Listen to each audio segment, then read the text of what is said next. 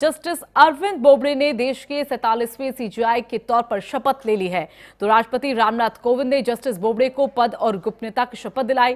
राष्ट्रपति भवन में हुए इस कार्यक्रम में पीएम मोदी, अमित शाह, पूर्व पीएम मनमोहन सिंह समेत कई लोग मौजूद रहे। तो जस्टिस बोबड़े ने अयोध्या समेत कई ऐतिहासिक मामलों में अहम भूमिका वहाँ पर निभाई है। जस्टिस बोबड़े ने रंजन गोगोई की जगह ली है। सैतालीसवीं सीजीआई के तौर पर आज जस्टिस अरविंद बोबड़े ने पद और गोपनीयता की शपथ दिलाई, जिसे राष्ट्रपति रामनाथ कोविंद ने दिलाया है।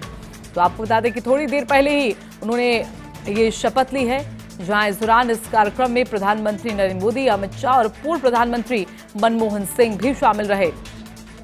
तो कई अहम बड़े फैसलों पर अहम भूमिका हमेशा से ही अरविंद बोबड़े की रही है जस्टिस अरविंद बोबड़े की रही है, और ऐसे में हाल ही में अयोध्या मामले को लेकर जो पाँच जजों की बेंच थी, जो संविधान पीठ थी, उसमें भी एक नाम अरविंद बोबड़े का था।